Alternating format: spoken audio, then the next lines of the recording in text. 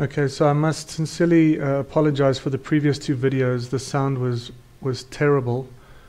Um, I hope you can hear it. I really do. If you put earphones in, then you would be able to pretty much make out what I was saying. But I need to, unfortunately, continue. I, I can't go back and, and redo those ones. So uh, email me if it's really a problem. Please email me.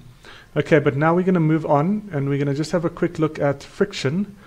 Now remember that we have contact forces, right? If two objects are in contact with each other, that's a contact force.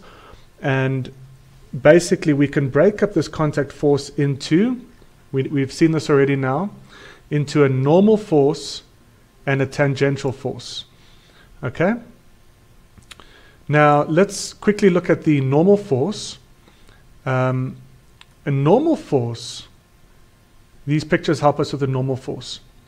If you've got a block that's at rest on a plank and you've got a gravitational force down, then the normal force is going to be the perpendicular contact force. It's a contact force, but it's the perpendicular contact force, and it is equal to that downward force because the acceleration is zero.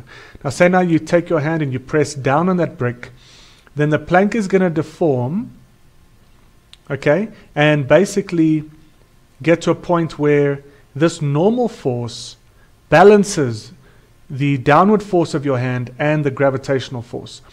So that's what the, the normal force does. As you increase this downward force by your hand, the normal force increases to match the, the, the total downward force so that the brick is in equilibrium. So now if you again if you increase your force, your hand force, then this normal force will continue to increase uh, to, to balance uh, to balance these two forces. And of course, there is a maximum, right?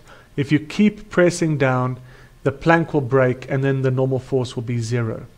But that's the idea, is that this normal force keeps, let's see what it says here.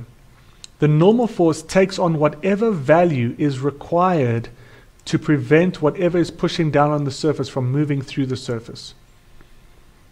So it keeps matching whatever force is applied on the surface, the surface, um, the normal force um, reacts basically with an equal and opposite force. Okay. Now that's the normal direction. What about the horizontal direction? So imagine instead of pushing down, you gently push on the brick to the right. So let's have a look in this figure 1020. Let's close that up there. So what's actually happening is that when two surfaces are in, are, are um, in contact, you have these little bumps on each surface. And these bumps cause, on, on both surfaces, cause microscopic bonding between the surfaces. Okay?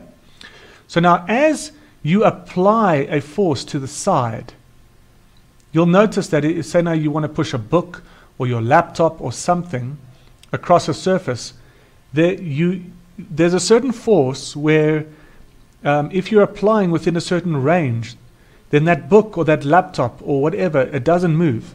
And you can keep increasing your force and, um, and it still doesn't move. And so what's happening is that you're applying this force, okay? But these little bonds are resisting any kind of tangential motion, okay? And then again, in the same way as the normal force, if you increase your hand force, the, the tangential contact force will also increase. All right? It will, and but still the acceleration is zero, meaning the block is not moving. And if you increase it even more, then the, the, that friction force, that tangential friction force increases even more to match what you are applying.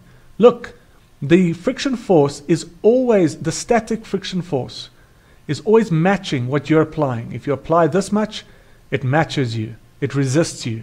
If you apply more, it keeps resisting you with the same uh, magnitude, but opposite direction, obviously.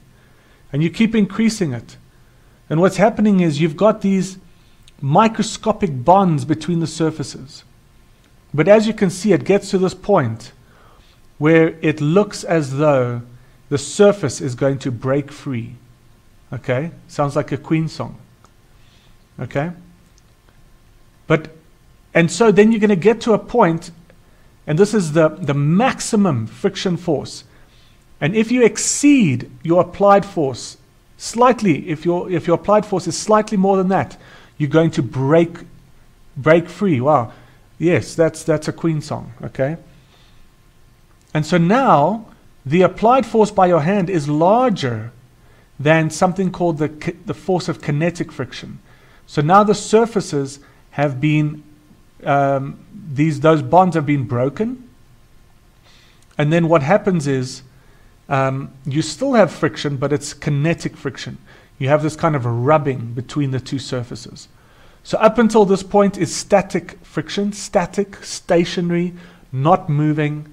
And then, then past this point, the object will begin to move because these bonds have been broken. And then what will happen is they're still rubbing. So you have kinetic friction, caused by transient catching and binding of surfaces. Okay? So just as the normal force takes on whatever value is necessary to prevent motion, the force of static friction also takes on whatever value is necessary to prevent two surfaces from slipping together. I mean, past each other. All right. So now, I think that's good enough here. Um, let's just finish off here. Uh, there's a couple of differences though. The maximum value of the force of static friction is generally much smaller than the maximum value of the normal force. Okay? Think about it. It's much easier to slide um, something sideways than it is to have broken that plank. Okay? Number two, once the maximum value of the normal force is reached, the normal force disappears. Okay? Right? There's the maximum value, and as you break through, that normal force is gone. It's zero. However, when you reach the maximum value of the static friction force, there is still a smaller but non-zero kinetic friction force. Okay. All right, so I think that's good for now. See you in the next one.